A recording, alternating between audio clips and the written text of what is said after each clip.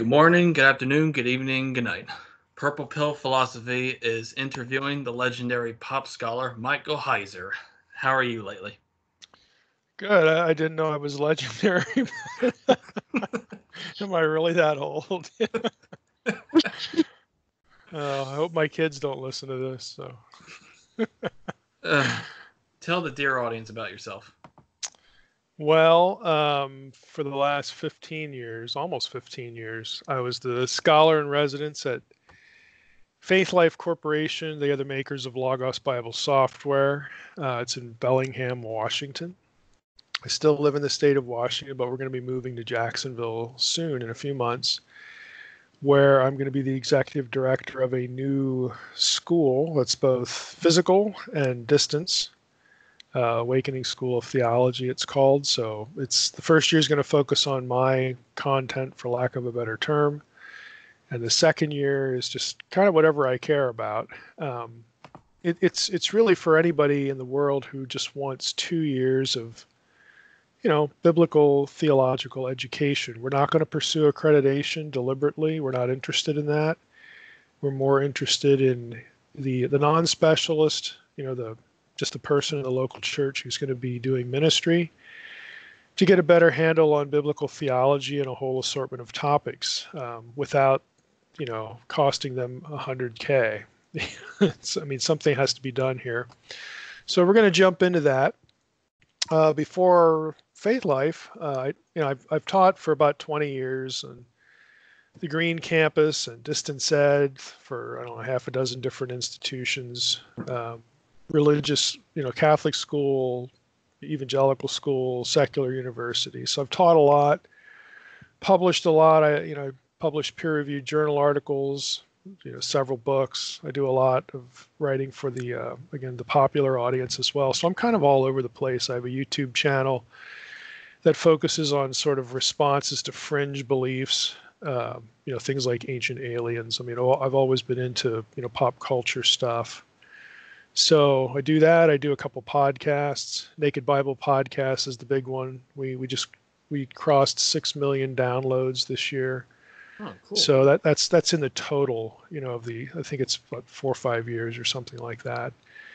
So that's biblical studies. I have a paranormal podcast where we do peer we go through peer reviewed literature on topics that would go under the paranormal label. I write fiction too. I mean, like I just you can find me in a lot of places. Um, I like anything old and weird.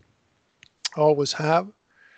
And uh, biblical studies is you know the wheelhouse. That's where my training is, and and professionally, you know what I've done. But I'm in all sorts of places. Interesting. One of the main topics in the unseen realm, which is what we're interviewing about you about tonight, Mhm. is the use of literary polemic by the biblical authors. Like, Mhm. of course, uh, Bible bashers who don't know any better will see how similar in many instances in the Old Testament are to stories and myths outside the Bible, like in Yeah. other Near Eastern sources, and go along with the caricature that the Israelites were these stupid Bronze Age sheep herders that had no original ideas of their own, and then make the non Right. they, they make the non sequitur that Yahweh is contrived Canaanite storm god because it was said to have created the world exactly the way the Egyptian and Babylonian gods did, flooded the world as the Mesopotamian gods did, and battled the chaos dragon as a certain champion god did in each pantheon. So Mhm. Yeah, We- and it, cause, because if we were writing polemic, we would want to make it sound as dissimilar to the thing we're shooting at as possible, right? I mean, how would it be a polemic then? yeah, how would anybody know? That's the most cleverly disguised polemic that's ever been produced. yeah, You know, it's you're, you're right. It's it's it's kind of an absurd set of assumptions. You know, these people are living in the same place, you know, regionally. Um, the, the the notion that they they could all be writing about, you know, uh, a recollected event doesn't seem to occur to some of these, you know, Bible bashers, as you referred to them. Uh, and even if it did, if you're writing a polemic, if you're writing against someone's worldview or someone's theology, of course you're going to dip into it because the people you want to get the message would never get the message if you're writing about something altogether different. and you weren't using their material. Uh, this is like the most normal thing in the world. If, if you want to, you know, write something that addresses a specific something else, well, the people who are reading it have to be able to tell that that's what you're doing. You know, it, it also sort of presumes that texts and beliefs are the same and coterminous. They are not. In other words, a people, Israelites will just say, can believe something for centuries, for millennia before ever writing it down. You know, they, they could pass it on orally. I mean, oral culture is a big deal in, in the ancient world. So the idea that they didn't believe something until we, we have a text for something is just, again, pardon the expression, it's just boneheaded. You know, it, it, it, it, it just fails to make this basic distinction. Now, I understand that's an easy thing to forget because you know we we try to deal with primary source data and and and the primary source data that exists for us is stuff that was written. I mean i get it. That's just a reflex. You go to the text. Uh, i'm a text guy so i understand that. But people have to realize that hey when when the guy sat down and when he when he when he took a seat on his butt and he started writing something with a pen that isn't the first time he had a thought it's also not the first time his people had a thought it's not, and, and his ancestors, you know, were not people who had no thoughts prior to that event. I mean, these these are the simplest, most obvious things in the world, but somehow they tend to escape critics. Again, especially amateur critics, but they they'll even escape, you know, scholars because again, we're we're sort of riveted. We get this little kind of myopic, you know, tunnel vision here on the text, and we we kind of forget that well, we can't really make statements about a people's intellectual, you know, repository, and and and have that be coterminous with texts. Thinking and writing are two different things. One came after the other. You know, it it just again, it, it's very obvious when you think about it, but a lot of people don't think about it. So I would ask, hey, please, could you think about that before you know criticizing too much?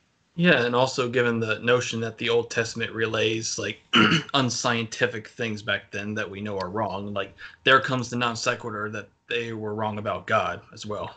Right, right. Because you know, let, us put it in religious terms, because this is what what people are usually shooting at. So they'll take somebody who believes that God is behind uh, the Bible, you know, that that God is the the ultimate point of origin for this nobody I know believes that God was the immediate point of origin, like humans didn't write the stuff. I mean, this is not an X Files episode, okay? you know, the, the Bible is not a channeled book, and it never claims to be a channeled book. God used people. And if those people that God chooses aren't giving us science that would satisfy a 20th and 21st century audience, well, that might tell us that the God who prompted those people to write wasn't really interested in that.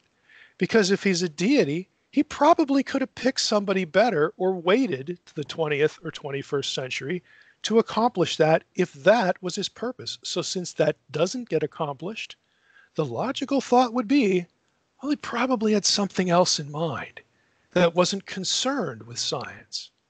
Again, when, when you actually stop to think about what the assumptions are, again we're assuming you know god for the sake of the conversation here if god is behind this and and god is providentially preparing people to write and moving them to get this or that down or putting them in the right time and place so that they'll they'll produce this thing that he's going to use later on in somebody else's life. If you know you, you, you string all those things together and they extend just from the simple thought of theism what you know what's more coherent? God exists or he doesn't. You know that's the beginning point for all this stuff. So if you're gonna if you're gonna concatenate those things, and then something that's produced doesn't satisfy a modern worldview, again, the logical conclusion wouldn't be that the deity forgot something or or did a boo-boo. Okay, the, the logical conclusion would be, well, that probably wasn't even in the picture. Probably didn't care. And so again, that that's actually my view. So I I, I kind of get a kick out of people who criticize the Bible for not being what it wasn't supposed to be. you know, and I'll ask them, "What do you get mad at your dog for not being a cat? Do you get mad at your son for not being a daughter?" I mean, if you can explain how your method, how your approach makes any sense, then you know we can have a discussion about that. Um, but it, there, the approach doesn't make any sense to me, and so I tend to be critical of the approach back at the approach, you know, for for those reasons. Hmm. Yeah. The main verses behind the theme of unseen realm are Psalm 82 and Deut- Deuteronomy 32. Yet, most mainstream scholars such as Mark S. Smith, John Day, William Dever, Pete Enns, and many others hold that these verses mean something different than you and other scholars like Richard Elliott Friedman and Richard Hess do. Mhm. Like, And, and, and by the way, Friedman and Hess are also mainstream scholars, so I am not out of the mainstream, but I know what you mean. like uh, Deuteronomy 32, originally meaning that Yahweh was originally a minor desert god that was given territory by the Most High, incidentally El, and Psalm 82 having Yahweh in the role of Baal in the Baal cycle, when he rises up and challenges the gods. Like I think Anderson did a peer-reviewed article on it.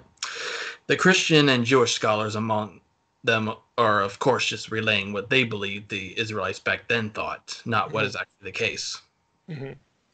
I would say for your audience, if if your audience wants sort of a a a place to go online, you know, for for my thoughts on this in more detail, they should go to Google and Google drmsh.com and then the keywords Psalm 82, monotheism, and archive. Uh, I, I've created a page where I archive the, my papers on this that are, you know, published, but you can still access them online for free. Let, let me just say, you know, since you, you threw Pete Enns into the mix here, um, in theory, I don't have a problem with the notion that God could have told biblical writers or led biblical writers to certain thoughts about himself in stages. In other words, the I, I think it's a myth on the other side. And I think this would, you know, I, I don't know if Pete's shooting at this or not, but I, you know, I, I think some scholars could shoot at this, so I'm going to bring it up. Um, the notion that the biblical writers all had the same thoughts about God all at the same time, or that over time they, they never could have changed. I think that's a myth. I mean, God certainly could have told them a little bit here, and then later on a little bit more, corrected this or that, you know, because other doctrines develop through Scripture. Kingdom of God is a real obvious one, but but there are a number of things that, that develop over time. So in principle, I'm I'm not opposed to that. My problem with it is that I don't think it makes sense because of the data, and I think a lot of the arguments uh, promoting the evolutionary trajectory simply do not make sense and are, and are actually easily contradicted by data. Um, let, let me just give you some examples here. You know, you, one th- there's an assumption that Elohim plural, plural Elohim. Mhm. Yeah, Elohim is a Hebrew term that's often, I mean, most of the time, used for the God of Israel. It's sort of a generic, becomes a generic term, but it can also be plural, gods. You know, put an S on the end of it. Well, there's an assumption that hey, in passages where we, it should be translated plural, that shows polytheism, and you ask, well, why? Well, it's because it, they're gods there. Uh, okay. Um, why is it then that you know biblical writers would use the same term Elohim of the disembodied dead in 1 Samuel 28 13? Or they, they use the, the, the, term you know in the plural for you know the gods of the nations while they're saying Yahweh is the God Elohim of all Elohim. That tells you that the biblical writers aren't using the term to state an ontology okay because they would they, they would be hopelessly muddled in their thinking. It tells you that they're not the inter the elohim aren't all the same. They're not just interchangeable. And in fact the biblical writers take great pains to deny certain attributes to other elohim. Again elohim has nothing to do with a set of specific attributes. But since that's the way we think about the letters g o and d in modern times we assume that biblical writers thought the same way about the word Elohim.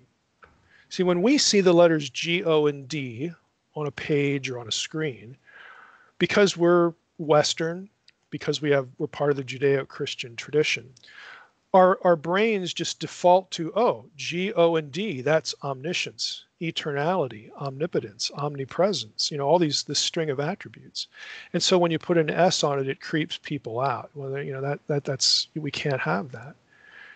But we assume again that the biblical writer is using Elohim and thinking the same way about that term when they're not. And how do we know? Well, because of the way they use it you know, so so this is why in, in my writing I say something. Look, this notion that Elohim has something to do with a unique set of attributes, and therefore when it's plural we have polytheism. There's something wrong with that, because it it it it it, leads us to absurd conclusions. Like like a biblical writer would have thought that his dead infant, who's now part of the disembodied spiritual world, is on the ontological level with Baal or, or Yahweh. That's ridiculous. Nobody's going to believe that.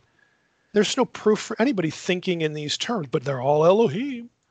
So there be no, no. Let's try to think a little bit better about the term. All the all the term means, you would use Elohim as a biblical writer to describe any entity, any resident of the disembodied spiritual world, regardless of their ontology, or regardless of their where they are in the hierarchy. Elohim is like a synonym for ruchot, spirits, spirit beings. Okay, that, that's what it is so that that's one problem you know and they're just a, a, number of these you know like in my in my a year ago we had our first naked bible conference and i uh, that's the name of my podcast naked bible podcast. And so i did a presentation on the septuagint and the dead sea scrolls in regard to this assumption. Because you'll read in literature scholarly literature that well when we get to the second temple period that's the intertestamental period you know and especially the hellenistic era the biblical writers are are you know they don't want to see other gods okay because they've evolved to monotheism now and the gods the other gods are dead or they want them to be dead or gosh they hope they're dead or something like that and so so now they talk about angels instead of gods. Well the septuagint translators sorry they didn't get the memo because if you actually look at all the places where how all the places where the Septuagint translators have to render Elohim, you know, they go from Hebrew Elohim to Greek. There's only three or four of those instances where you don't have theoi or, or some plural of theos, gods. So they, they, they don't have any trouble having gods in the Hellenistic era in, in the Septuagint, which is the Greek translation of the Hebrew Bible. It's the same thing in the Dead Sea Scrolls. There are there are 180. I know because I counted them. This is part of my dissertation. There are 180 or, or a little bit more instances of Elohim in the plural in the Dead Sea Scrolls. And 15 or 20 of those are specifically in divine council passages, you know, this, these quote unquote pantheon passages. Now, I've got news for you. The very same language that supposedly before the exile that Israelites you know, they were they were polytheists, and then by the time they emerged from the exile, they've they've achieved the, the, the breakthrough of monotheism and they're denying all these other gods exist. Well the very same terminology that's in pre-exilic texts is in post-exilic texts word for word phrase for phrase and it's about six or seven times more. Okay so so how does the evolutionary trajectory conform to those data? That's what i want to know okay? But eh, but nobody ever like looks. I, I can point you to articles and i do this in my published articles where uh, i'm not going to give the person's name here. People can go go get the article. It's the one on the tyndale bulletin on the dead sea scrolls okay? There are scholars who will who will articulate this idea that that we've transitioned from Elohim to angels, and they'll be quoting Dead Sea Scroll text, and they'll quote five or six texts in the article. If you look at the text, the word for angel never appears it's still the plural word for gods, Elohim and Elim. The word for angel, Malach or Malachim, doesn't even appear in the text. But they're making an argument for this transition and quoting texts that don't even represent what they're saying. Now you say, how can they do that? It's because they've just been taught the paradigm. Nobody questions it. You know, I mean, I, I could just go on and on with this. Uh, to be fair to you, your audience, you know, this is my dissertation, so I kind of swim here You know, okay, Psalm 82, you know, or let's Deuteronomy 32, you know, El giving Yahweh a piece of turf. Well, that's wonderful until you do two things. Until you look at Deuteronomy 4, 19 through 20, which everyone in the literature knows is the parallel to Deuteronomy 32 8. It says, Beware lest you raise your eyes to heaven, and when you see the sun, the moon, and the stars, all the host of heaven, you be drawn away and bow down to them and serve them. Things that the Lord your God has allotted. There's the language, you know, from Deuteronomy 32 8. He's allotted them to all the peoples under the whole heaven, but Yahweh, the Lord, has taken you. He doesn't get it like, oh, thank you. Thank you, El. Thanks for this little piece of land. No, he takes it as his own. So that language doesn't reflect there. And if you go back to Deuteronomy 32 and verses 6 and 7, guess what? We have El and Baal epithets attributed to the lone Yahweh in the two verses prior. So the question is, if we're if we have polytheism in verse 8, why is the polytheism messed up in verses 6 and 7? like when they're they identifying the two with the one. I mean, it just doesn't make any sense. Th- and, and are, scholars, go ahead. It's argued that 32.8 was reflecting an older tradition. Oh, of course, because because everybody listen out there, sit down. If you're driving, roll, you know, turn off to the side of the road, okay? Because we all know that manuscripts come with dates on them, don't we? No, we don't it's a guess, it's an assumption that is brought to the text as to when a manuscript variant, this difference, happened. You have to impose a chronology on the texts and then argue after your imposition of your chronology to that conclusion. And all I'm saying is look, you can't, there's no way to know when these changes happen. And you know what? It wouldn't matter if it was older because I'm arguing on the basis of the Dead Sea Scrolls, the Septuagint, all this other stuff, that on both sides of the chronology, you get the same phrases. Again, there's no there's no idea that the Septuagint translation is pre-exilic. Nobody in there, unless they occupy an insane asylum, would say that. Okay, we know when the Septuagint was translated, and they are perfectly free to use plural Elohim, B'nai Elohim, the phrases of Deuteronomy 32 8 in that late material and the Dead Sea Scrolls are even later than that. So it is a, I mean, I got to be blunt, it's a lame argument to, to just move that back as though it means something. It, it's not a meaningful statement because the same language shows up exponentially more often after this you know evolution to monotheism has supposedly taken place. You know well, and, and, I, I i know that i'm you know I, i'm in the minority here because i did my dissertation on this at a secular university. My advisor was jewish but to his credit you know he, he found the topic interesting even though it, it ran contrary you know to some fundamental things. But but my work here has passed peer review on a number of levels here. I'm not just making stuff up. I'm saying here are data that are not being thought about well, that are, that are just sort of not even looked at. And in some cases, we're making claims that the data actually contradict. So we need to do a little bit better here. Now, I, I would never argue something as silly as all Israelites you know, believed in the lone Yahweh, the ontologically unique Yahweh? Of course they didn't. It's going to be like today. I mean, you, you can't even get Christians to, you know, people who would call themselves Christians, you can't even get them to agree on Trinitarian articulation. Even, even the groups that, that claim a Trinity will talk about it differently Eastern Orthodox versus like evangelical or something like that. And then you'll have Christians who are oneness Pentecostals. You can't even get people to agree now on really fundamental things. So, of course, in the ancient world, it's not monolithic. But my argument is the biblical writers, and, and we're looking at their material, this is the text.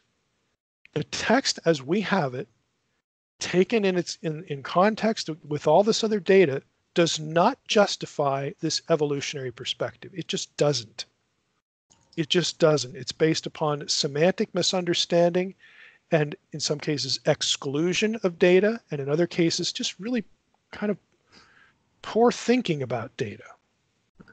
While we're on that topic, uh, do you hold that Yahweh and El are different versions of the same Almighty God that were seen as distinct by many Israelites, like given the anti El polemic we see in Hosea, as Chalmers argues?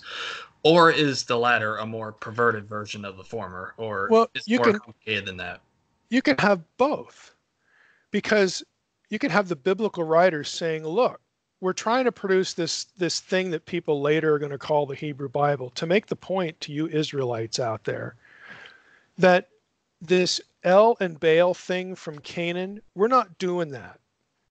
I mean, I have a whole published article on, and this is drawn from my dissertation on the on the divine council co-regency structure from Canaan to Israel. And in Canaan, you had El and Baal, one and two. All right, regent, co-regent in the in the Hebrew Bible, you also have two structures, regent and co-regent, but they're both occupied by Yahweh figures. One is the transcendent, invisible Yahweh. The other one is the visible Yahweh, the one that appears as a man.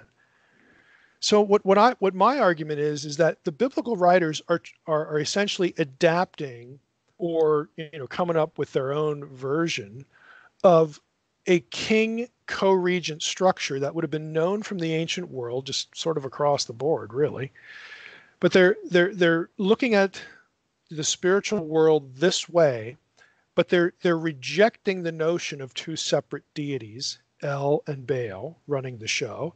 And for them it's yahweh in in essentially two yahwehs.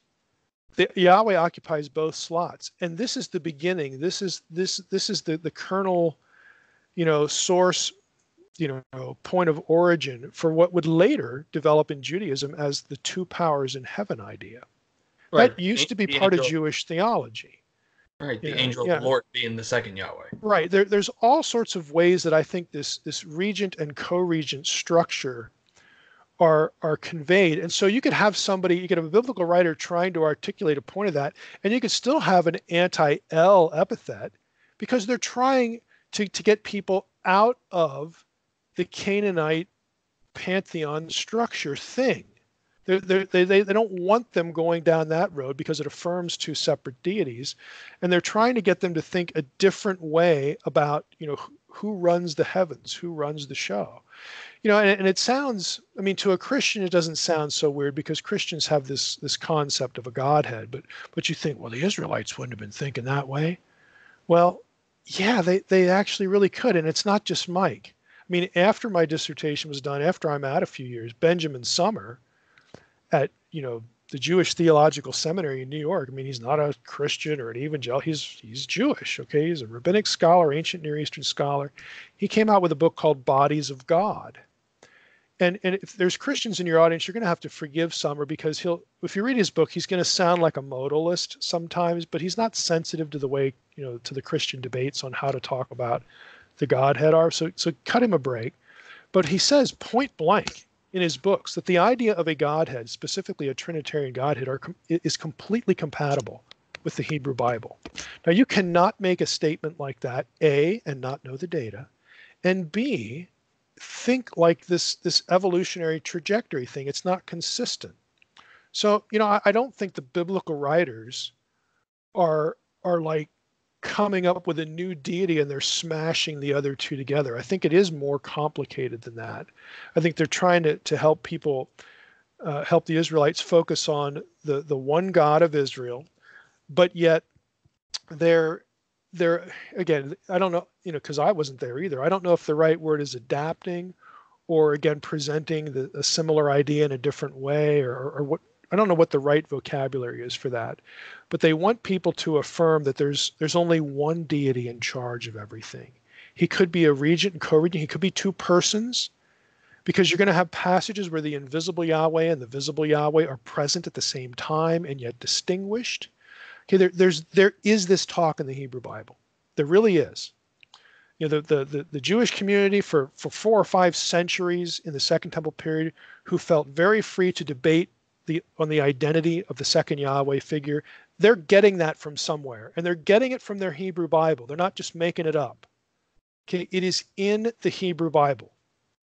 It's just that a lot of Jews, I would say 99% of Jews today, don't know about it because it was declared a heresy later in the second century AD, which again, I don't think is coincidental. That coincides with the birth of you know the, the Jesus movement, you know, or you know the early church.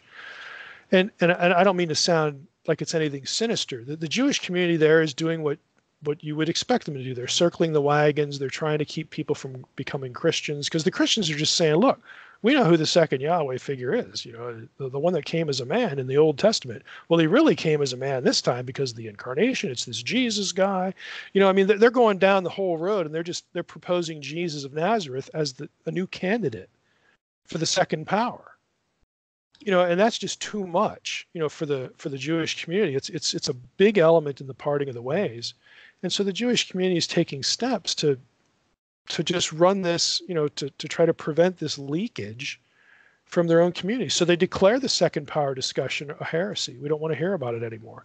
They they forbid their community from reading the septuagint because there are certain passages in the septuagint that would favor the christians in in this debate and and they take all of their of the texts of the Hebrew Bible and they come up they decide to standardize them and they come up with the Masoretic text that's going to be the, the text of the Jewish community from there on out.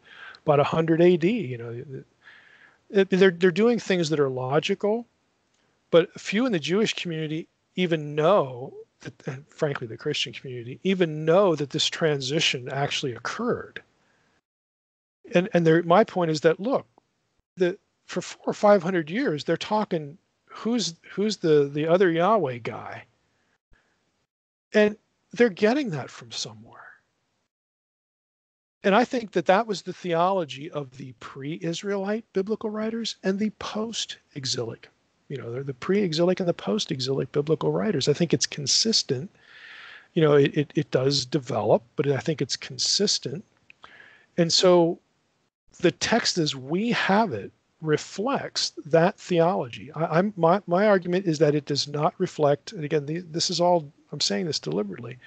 It does not reflect a polytheistic belief system on the part of the biblical writers. The masses, you know, God only knows what they're believing because they don't have Bibles for one thing. They're just going to believe what they're told or what they're not told. They're just going to guess. They're going to wing it. You know, I mean, again, it's just like today. It's no different than today. It's never monolithic and it never will be or can be. And on a related note, what do you make of the theory that Yahweh merged with El, like in the case of Baal? Like we see with battling the dragon god Leviathan and the divine warrior persona in general. Like many compare that to the merging of Ra and Amun in Egypt, as well as Marduk and other deities in Babylon. Yeah, I don't, I don't, I don't think Yahweh's sitting out there in the spiritual world saying, "Gosh, I need to merge with one of these other deities." You know, so I, I don't really like you know the the merging language. I don't I don't know if that's a good way to describe uh, it. What I do know, right? What I do know is that the biblical writer wants his readers to to think okay, here's this El story in my head floating around, and then there's here's this Baal story floating around in my head.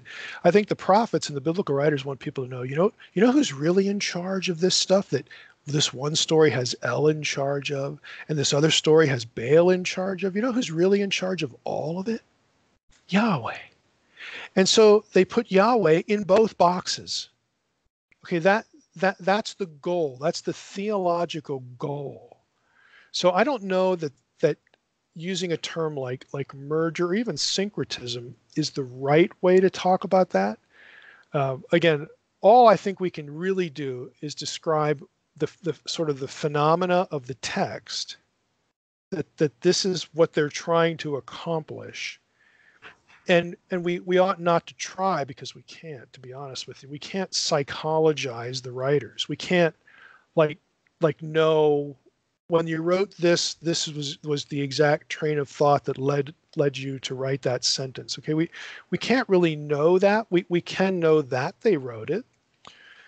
You know, and the effect of it is something we can judge. And so that's where I try to camp out. What does the text say and, and what's the theological impact of what we have here? The theological impact is a co-regent structure that is like a co-regent structure of Canaan. And that's nothing unusual, by the way. I mean, every every ancient Near Eastern civilization had an ordered spiritual world. I mean, you, they, in other words, they didn't have the gods like Keystone Cops.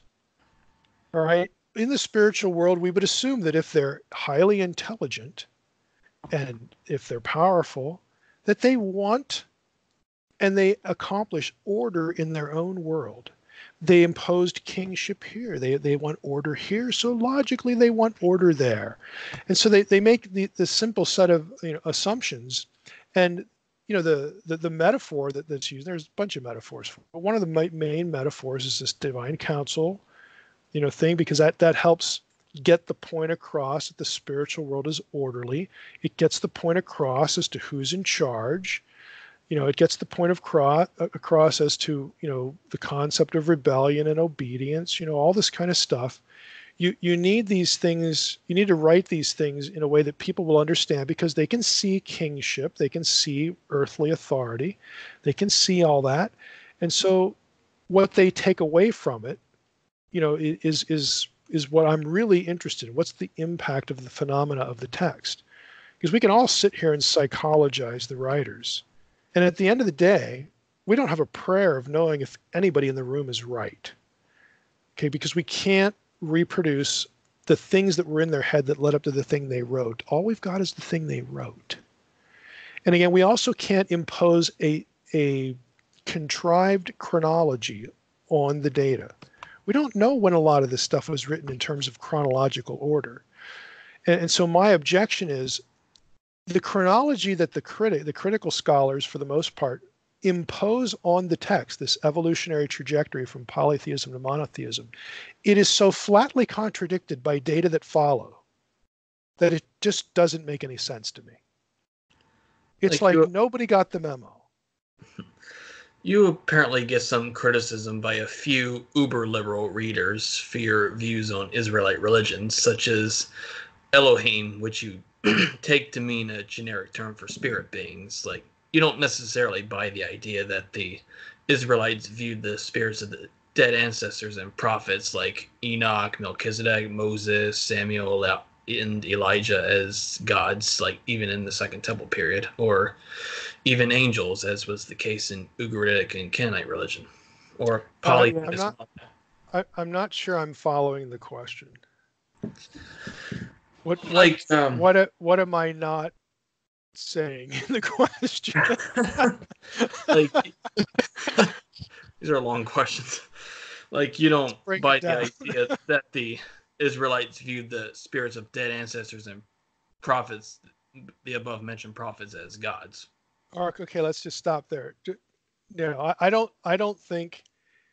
Again, I don't think that the people writing the biblical text and the people reading the biblical text and and again assigning some importance and trying to have fidelity to it i don't think they're sitting there thinking hey grandpa is a god now. You know i wonder if he's out there creating a world somewhere. You know no i don't believe they're they're thinking that at all. I think the language is they do believe that their ancestors well, are still alive they, they have a life of some other nature some other place you know the underworld the afterlife whatever so I, I do think it means as at least that, but I don't think they're like turning into superheroes or something. You also don't. That that actually sounds a little bit like Mormonism. It does. It does. And I'm I'm not a Mormon, so I feel free to reject that. you also you, you also don't buy the idea that angels were gods, like in the how the Ugaritic Canaanites believed. Yeah, well the the angel is a functional term. So again, it, in my book Angels, I spend the first chapter talking about semantics, which I think a lot of biblical scholars fail to do. I'm just going to be blunt with that. Um, there are there are essentially three buckets. Okay, the biblical writers use terms. Here, this is the first bucket. There are terms that describe what a thing in the spiritual world is. Those are ontological terms. Things like ruchot, you know, like spirit or spirits. Elohim is is a you know is a term that describes what a thing is. It's a spirit being. Okay. It doesn't really say anything about attributes or rank or hierarchy or roles or function or anything like that. It it just that, that's what it is. It's a spirit being. And then there are terms that describe rank in hierarchy, okay, or some kind of you know administrative order. That's bucket number two. This is these are council terms, divine assembly, and all that kind of stuff. Okay, and then the third bucket I think is the biggest one, and these are terms that describe function or role, what a thing does. So there's what a thing is, where a thing ranks, and what a thing does. Okay, three buckets. Angel is in the third bucket. It's a messenger. So in that sense, a malach, an angel, a messenger, is an Elohim, because the Elohim just means it's a spirit being. But it doesn't mean that they have the certain attributes of Yahweh or any other deity, because we have to look at the way those deities are described. We don't know, and, and frankly, in, in the Hebrew Bible's case, angels don't get certain attributes, certainly that Yahweh possesses. And they wouldn't have the same level of power and ability even in Ugaritic material. So, you know, that that's like depending on how your question is read, the answer could be yes or no. So I, I don't I don't quite know what else to do with that. But we we need to stop merging terms. We need to stop merging semantics of terminology because it creates confusion. Not only like in the early church and, and the average Christian, I mean, they, they have they have no feel. I mean, what, what what church tradition does is it takes all the terms of the Bible and smashes them all together and calls it an angel. That's just not accurate. It's it's just it, it creates all sorts of confusion and tension between both the Old and the New Testament, to, to just be really frank about it. Um, it. It's why I can go to into a church, and if I just went in there and started talking about Elohim, the divine council, people are going to look at me like I got two heads. You know, and, and I might hold the very same theology. I'm, a standard Christian Trinitarian guy. Okay, I hold the same theology this bunch does, and they're going to think I'm just sort of some kind of wacko because we're using the same terms, but we mean quite different things and and that needs that needs to be addressed. And what when I in what I write, I try to address that, especially in the angels book, because you know everything's not an angel. That's just a job description. It's a job description that a particular member of the spiritual world has on any given day or whatever. That's all it is. It's a job description. It is not an ontological term. Like, and because well, you don't. Oh, I was gonna say, well, of course, not everything is angels. Politics is pretty much confirms that. so, like, in, uh, in that case, everything's a demon. Or... oh boy, there's a demon joke in there somewhere, but demons in office. Like in the, you also don't buy the idea of polytheist mo- monolatry in general. Like, be, because of this, you get accused of having religious conservative bias. Like, how did you come to your position, and what are your biggest reasons against the consensus view among critical scholars? Yeah, yeah. Well, this is this is a good question because ter- all these terms, monotheism, monolatry, polytheism, henotheism, they're all modern terms. So we have modern vocabulary that we're trying to impose on ancient texts and, and, and we're assuming that we're capturing ancient thinking. Not really. I mean, there there are disconnects, there are problems with all of them.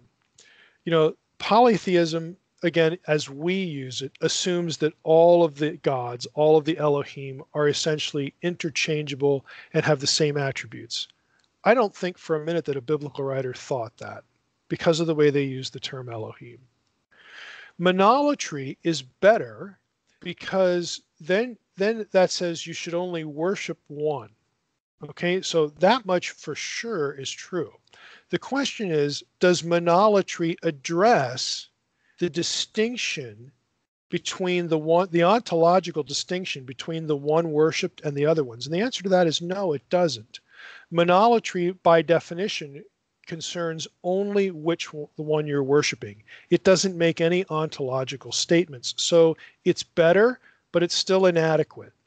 Henotheism suffers from the same problem.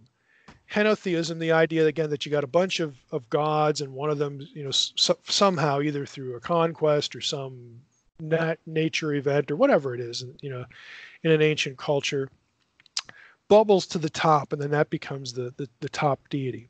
Well, I mean, you, you could you could look at the Hebrew Bible in, some passages and think, oh, that, that looks like henotheism. But again, that if you're a henotheist, you assume that well, tomorrow or a hundred years from now, another deity might be the best one. And so the question is, did a biblical writer really think that? Did he think Yahweh was replaceable? Did he think Yahweh could be toppled by a, a, a deity that's equally powerful, equally you know, having equal attributes? Did he really think that? And my answer to that is no, they didn't think that. So again, henotheism is better than polytheism, but there are gaps in what it covers terminologically. And monotheism, again, is, is a difficult term. It's a modern term that really if you read Nathan MacDonald's treatment of this, it's Deuteronomy and the meaning of monotheism, he traces the monotheism as a term back into the 17th century. You know, so that's a difficult term because it assumes that there can only be one God that exists, at least in the way that we talk about monotheism. Because if we have other gods existing, that would be polytheism. Well, why do we think that way? It's because we think of the word of the letters G, O, and D as having something to do with a specific set of unique attributes. And it, that's the way we think. That is not the way a biblical writer thought about Elohim. So all four of these terms I don't like. Okay, they and I, I don't like because they're bad. I don't like them because they're inadequate. So what I tell people is look, rather, you, you got to try not to be a modern person here. Resist the impulse to stick a label on something. Instead of trying to come up with one word that's a good label for something, let's just describe what the biblical writers believed. And that's what I try to do in my books. I don't come up with another label because there really isn't a good one. So we're kind of stuck and, and so my again, if I were a little more, if I were cranky right now, I'd say, look, don't be lazy. Don't don't look for a label. Just take a minute and describe what what they what the biblical writers would affirm and what they would deny. I mean, noodle that for a little bit and then try to describe it. Maybe maybe come up with the elevator speech for that, 30 seconds or a minute. You don't need a label. Labels are inadequate. And so that is why I land where I do, not because you know I took communion or something. You know, it just, again, I, I get these things thrown at me because that's the only way people can think. And you know what? Even though I'm the target of some of that, so you might think that's my problem. It ain't my problem. It's your problem. Okay. The, the fact that that I'm coming to a conclusion you don't like doesn't excuse you from trying to actually understand why I get there. Okay, because if, if all you're going to try to do is come up with a label or you know come up with some convenient explanation without actually listening and, and, and you know noodling it with me a little bit, well, you know, I, I can't help you. I, I can't do that for you. So you need to do that yourself. And speaking of polytheism, this is this is kind of a joke to bring up in an interview with an actual scholar, but once in a while, uh, try me. once, once in a while, a village atheist or a neo pagan will bring up a couple verses where God would otherwise look weak, such as Judges 9, 119 with the iron chariots defeating the men of Judah, and Kings uh, 2 3, where it would seem that the Lord lost a fight to Chemosh, as was told in the Mesha Stele, where the Moabites defeated the Israelites and stole Yahweh's relics. Right. right. Like, so, because, because we all know that God had to deliver the Israelites in every circumstance, no matter what. Right? It, they, uh, usually, they, usually, bring up the fact that there was a prophecy about them defeating Moab and that getting overturned by another god. Like it, it, it doesn't of, it doesn't matter in the least. Let, let, us talk about second Second Kings three because they're missing two things, at, at least two things, maybe more. Let, let's just take the the bigger issue of prophecy, which would basically take another hour long show to go through, but prophecies frequently. I, I don't know if it's fair to say that it's most of the time. That might be an overstatement. There are actual studies on this that I, again, I don't have the studies memorized, but I, I, it, it may be. I mean, it's a, it's a significant amount. Let's just put it that way. I don't I don't know what the percentages would break down here, but prophecies frequently come with conditions, and I'm not talking a simplistic conditional statement like if then. There are other things lurking in the Hebrew text or the context that create conditions for a prophecy, and in, many many cases, you know, again, the you, you're I think you use the term village atheist or something like that here. The village atheist will not even be aware to even look for this stuff. And and, and you got to look beyond English. You know, there again, there are actual studies on this, conditionality and prophecy and whatnot. It, it's actually really interesting.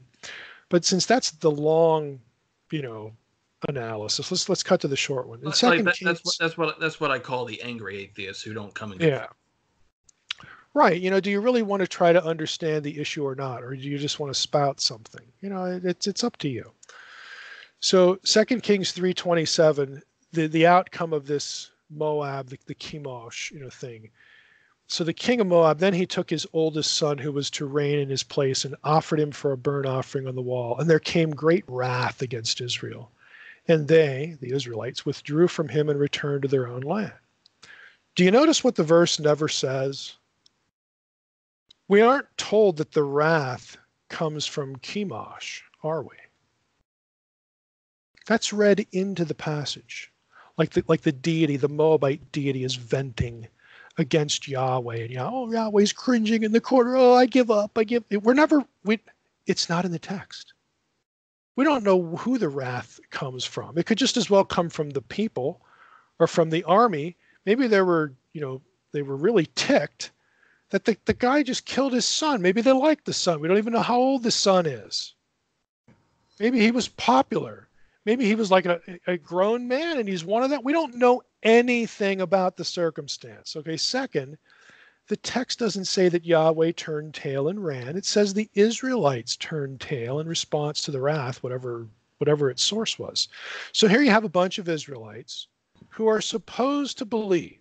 These are Israelites now they're supposed to believe in their hearts that their God is the God of gods, the God who defeated the Egyptians at the Red Sea. And what do they do? Do they have faith? They, they even have a prophecy. Do they even believe it? Do they believe what God said? No, they don't. They just blink and they turn tail and run. So, why is it God's fault if he chooses not to deliver unbelief? I got news for you. God, God says in a lot of places, I'm not going to deliver you if you don't believe. This is a predictable result. You know, why does Yahweh get blamed for this as though he took a beating? There's no textual proof for it. And and and the, the, the counter to it is that he will, in some cases, even punish unbelief. It's like ignored. It's, you sort of get that idea from the as as was told in the Mesha Stele. Well, you know, of, of course it's going to be told that way in the Mesha Stele. Who's writing it? Moabites, you know. I mean, you know, the Moabites aren't. Yeah, let's reduce it to some really simple things. Question: Should we expect Moabites to do Israelite theology? in one thing Absolutely not. Of course not. Okay, Moabites are going to put the best spin possible on the event, and and they do. Isn't it interesting that the Hebrew Bible writers don't do that? The Hebrew Bible writers just say, "Our guys were chicken." okay, they just they, they didn't I- believe it. They took you know they turned tail and ran. I, I don't think we need to stress the ridiculousness and illogic and the implications they give, but I like to hear an actual scholar's take on the suggestion that the same God that parted the Sea of Reeds and was said to have battled Leviathan, or any kind of God in general, was thwarted by man's tools. Yeah, yeah. You know, and- and you know, it's a good point. I, I want your your audience, and I hope they're getting the impression here. Look, there's very little of what I have said in this interview that requires a PhD. I would say next to nothing. You know what's more important than a PhD? Clear thinking. Okay, asking good questions. Okay, you- you're not going to get a PhD for that, but it's really useful. It's really valuable. So so don't get enamored with degrees and all. Okay, the guys with the PhDs, yes, we're, we are good for something. Okay, and that is data, ferreting out data. Yes, some questions are going to depend on you know the knowledge of the original languages. Absolutely. I didn't waste my time getting a PhD. That isn't what I'm saying here. What I am saying is that you don't need a PhD to think well. Okay, you cannot you can do that on your own. And and it's it's my job. This is why I do my podcast. This is why I write the books. I think it's my job as a scholar to give you more nuts and bolts to think well about so that you you know not just sit there and entertain yourself by doing bible study but so that that you you know if you're interested in this stuff you got a lot more grist for the mill and and you know go at it you know get get busy doing it um, you know i wish more scholars would would do that but please you know if you're in the audience you, you should not be thinking that you've got to go out and get a degree. You, you just don't. You just don't. Like um yeah but what's your take on the um even though the people i deal with on a regular basis don't normally think about this stuff oh, I'm i know. I'm curious as to, to a i'm curious as to a scholar's take on the iron chariots debacle in judges In 119 in which, which passage judges 119 yeah Let me s- let me just, I have my software open. Let me go to that. Ah, let's see. So the Lord was with Judah. He took possession of the hill country, but he could not drive out the inhabitants of the plain because they had chariots of iron. So the question is, who's the antecedent? See. they like to imply that god was thwarted by man's tools even though that makes no sense in any context Well, you know, well, the, the part of the problem is, okay, and, and here you go.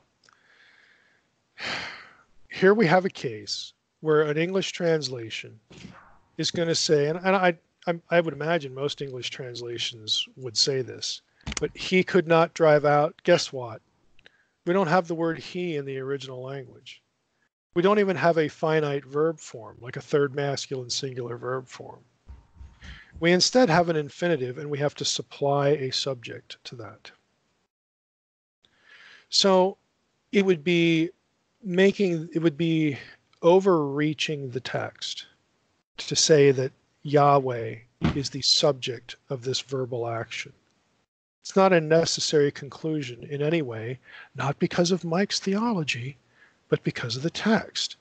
You could just as well, you know, put it make it an it. It could not drive out judah. Judah couldn't do it. Or they could not drive you know the subject in terms of the person and number is ambiguous because we have an infinitive form and infinitives do not have person and number. This is grammar. And i know again the village atheist is going to go you know oh, what you know well sorry but the text is what it is so don't make an argument that you think the text supports when it actually doesn't. Yeah, and like um not only does that does that not make any sense, like the idea that it was defeated by a minor god like Chemosh when the Egyptian pantheon was no problem for him. Like best excuse I hear for this one is the Exodus never happened tangent and Yahweh made a mockery out of Dagon on numerous occasions. Well, that's true. I mean, you know, God God can, you know, do what he wants. You know, but the the reverse, the, the flip side is also true. You know, God allows the he doesn't allow he actually it depends on what passage you're in some some cases he's like whatever i don't care what's happening to you me to you do you deserve what you're getting or other times he's actually taking the babylonian army and crushing his own people for their disobedience and sending them into exile okay the fact that israel you know, like judah winds up or well the, the, the 10 tribes just get scattered everywhere the fact that those things happen don't mean that Yahweh was defeated. In some cases, the, the scripture is very plain that he actually does this to teach people a lesson. And sometimes the lesson is really harsh. And so you you know you could read that you know into, into Judges too because it's the period of the Judges and it starts off the cycle of you know Israel forgetting Yahweh and then they get oppressed and then they cry out to Yahweh and Yahweh raises up a judge and then the whole thing repeats itself like eight times in the book. You know it, it, it could be one of those too. All right. Well, we're coming up at about an hour right now. Yeah, let's just uh, ask uh, one question from Brass. Um, What are your what are your thoughts on Leviticus 25, uh, 44 to 46, which seems to talk about chattel slavery of foreigners, as well as the so-called sex slavery in Ex- Exodus 21? sex slavery in Exodus 21? It has more to do with the the Midianite story, I believe. No, no, it's uh, selling your daughter to some as a slave to somebody. Uh, Is this from Judges or from Leviticus or what? Where are we going? It was from But, Exodus. and by and, and by the way, I mean we, we have time to pick up six and seven uh, on the other list. Uh, if you want to cut that out, edit that out, make a note to yourself. You know, I, I think with a lot of these situations, you get Israelites with their boots on the ground doing things that seem perfectly logical to them given their culture as opposed to God sitting there thinking, you know, I can't think of a better solution, so I'm going to demand, I'm going to command you to go out and do this. You know, we have a very flawed assumption that the Bible, let's, let's these are Torah references, so let's just say the Torah here. We have a very flawed assumption that the Torah endorses a culture. It does not endorse a culture. There is no culture that dropped from heaven from God. And that includes the theocracy of Israel and, and, and what is behind a lot of this Torah stuff. I mean, in the examples you you know you give, like Deuteronomy, if a man has two wives and he you know likes the one and hates the other, you know about not disowning the firstborn of the of the woman that he doesn't like, okay, it it never tells you go out and create this circumstance. Go out, you know, God says go out and solve your problem this way or do this thing. It it reports that they do those things, and yes, God doesn't like send lightning bolts and say you idiots, you know, like what are you doing? You know, first of all, again, there are, there are plenty of examples where God has picked a people. He's picked them in second, first, whatever it is, millennium BC. They already have a culture in place, and God is essentially content, whether we like it or not, of using what He's got to work with. Now, we know from biblical theology that the theocracy was not a divinely handed down culture that was supposed to be here from time for time immemorial. How do we know that? Because biblical theology informs us that what God is really up to is to get humanity back to where it began, back to Eden. Eh, It's about defeating, you know, all of the forces of chaos to get things back to Eden. Well, back in Eden, there was no Jew-Gentile distinction. There was no Jewish culture. There was no theocracy. Okay, there, there, there was no subjugation of women right? There were none of these things. And we know that that's that's the, the way the bible is directing things because of the way the bible ends with the new heaven and new earth in edenic terms. And those late chapters in the new testament draw heavily on the old testament. You, you get this stuff in the prophets. The writer of revelation is not just making stuff up. He's drawing from an old testament vision of a new eden not a new israel not a new theocracy not a new, you know, something that's smaller than than Eden or smaller than the, the whole world is supposed to be Eden. This is what God wanted in the first chapter of Genesis. And God is going to have his way. That's the message of biblical theology. Now, along the way, there's going to be lots of bumps. God has to break into history, call a dude named Abraham. Okay, his people are going to do this, that, and the other thing. They're going to do some good stuff, they're going to do some terrible stuff. His descendants, the Israelites, they, are what they are. God made a promise to them that I'm going to use Abraham's seed to, to, to work the plan back to Eden. It's going to take a long time. You know why? Because God chose to have humans be indispensable parts of working back to Eden. God's not going to turn everybody into robots. This is why we still have evil. Why do we have evil if God, if there's a God? It's because God, at some point, namely at the very beginning, said, I'm going to create beings who are like me. They're going to be my imagers. And I'm going to share my attributes with them so that they can be like me and fulfill their destiny. And what I want them to do is I want them in my family. I want them to be partners in my in this world that I have created for them. And I'm going to come to earth and live with them. I'm going to be their God. They're going to be my people. And we're all going to be here together and enjoy it. There's no deficiency in me as to why I'm doing this. I just like to do it. I like to create things like me, and I want partners and kids.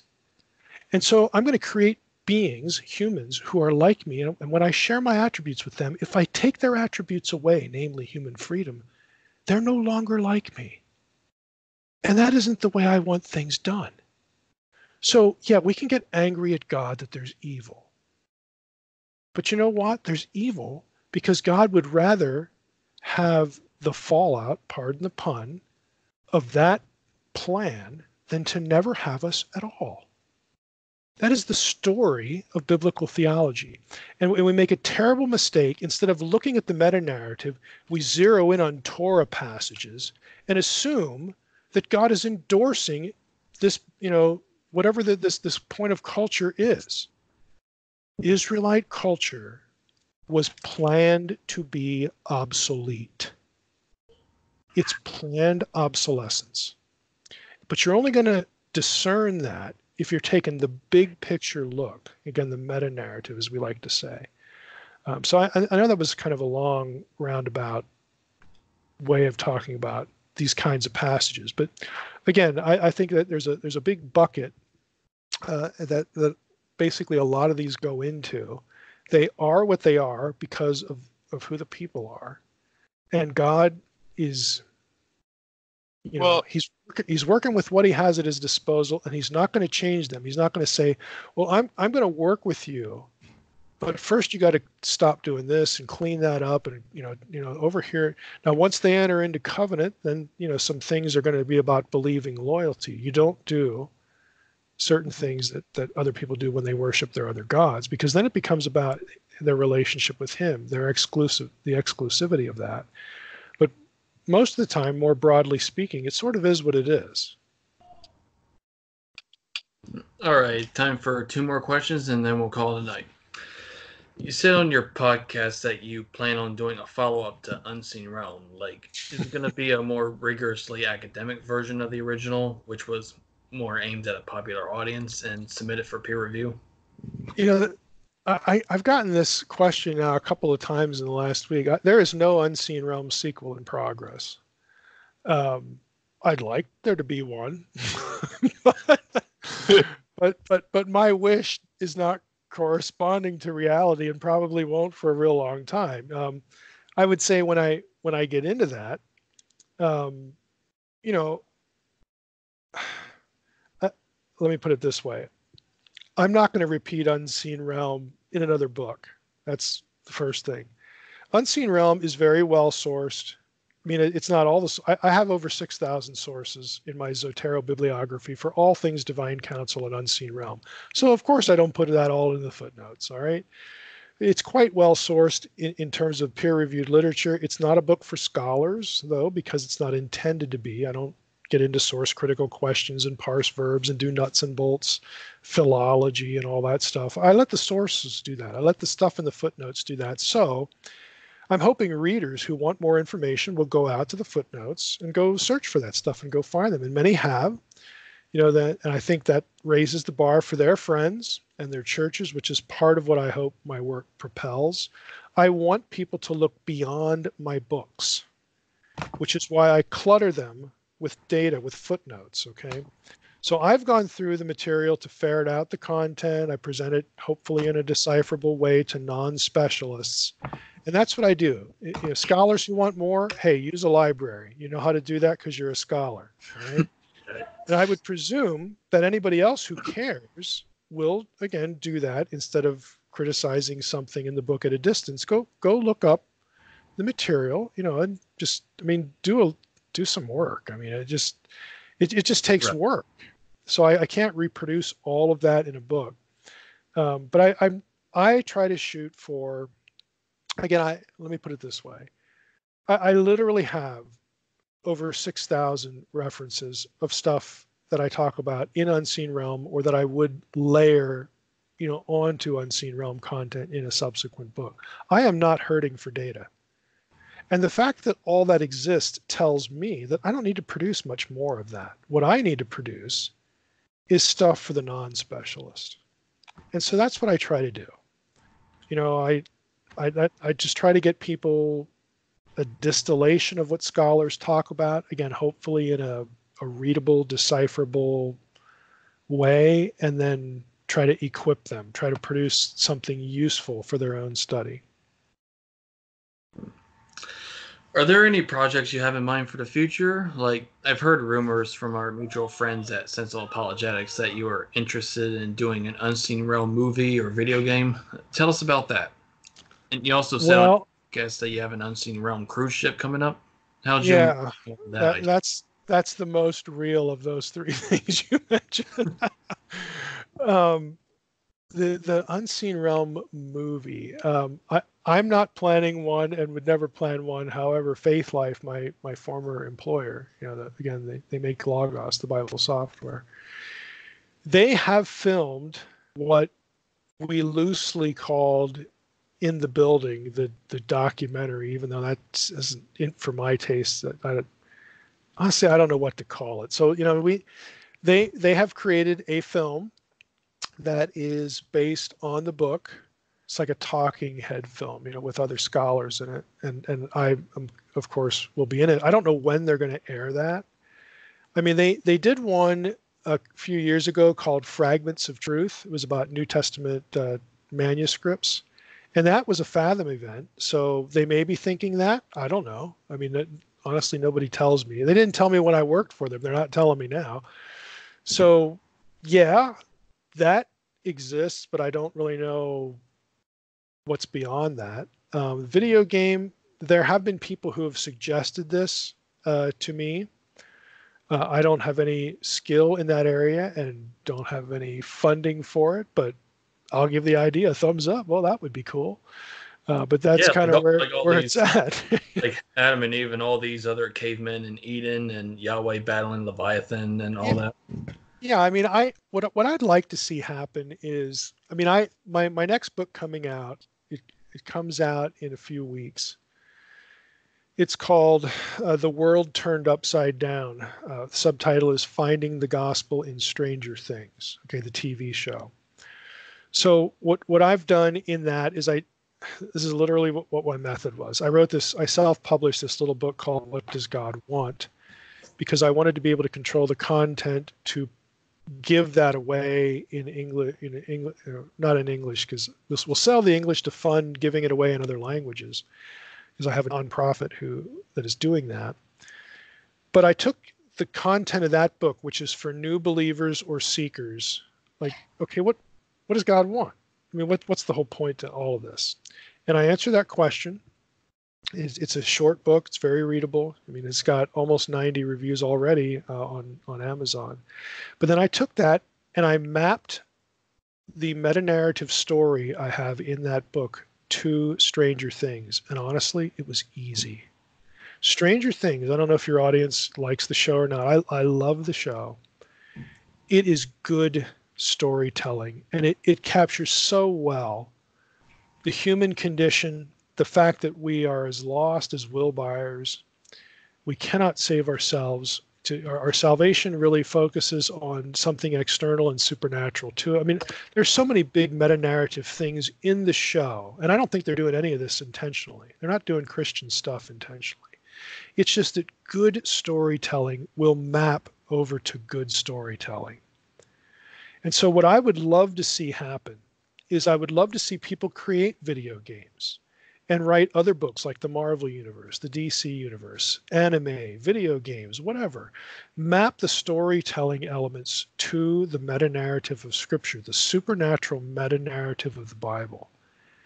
Because I think it would really communicate important theological stuff to a visual audience and to an audience that just all that stuff's going to be a bridge to them. It'll it'll it'll speak really well. So I've I've done that with Stranger Things. I'm hoping that will prompt people to try to do the same thing with my content. That'd be awesome. You know, I I, I hope they do it. Well, it's kind of like what Jordan Peterson suggests about uh, superheroes being Yeah, exactly. like, like, like demigods. You know, and I, whenever that comes up, I always recommend. Um, oh, what's the guy's name? Christopher Nolan, I think. I mean, there are a bunch of Nolans that get confused Yeah. here, but he, the, the guy who wrote the book "Our Gods Wear Spandex," and d- don't let the cover um, deceive you. It's it's kind of a it's a comic book cover, but it's really a good book, and it's it's about how um, you know the superhero universes track on really big um, archetypal religious themes you know and how they convey the same thoughts just in comic book form. It, it's it's quite good. And there are a lot of things out there like that but that's to me i think that's one of the more accessible books. Um, so if you're interested in that kind of thing I, I highly recommend that book just to get your mind going on what the comic book storylines are, are really what they're really tracking on. Is it's a lot it's a lot bigger you know than you might think.